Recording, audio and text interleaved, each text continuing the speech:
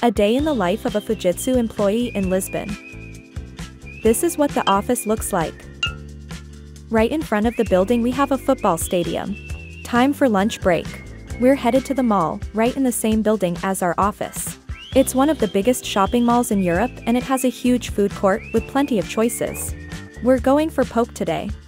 Back to the office, we'll continue our lunch break in the leisure area, where we can relax and read a book or just take a nap on the couch. We had pastel de nata for dessert, and that was it for today.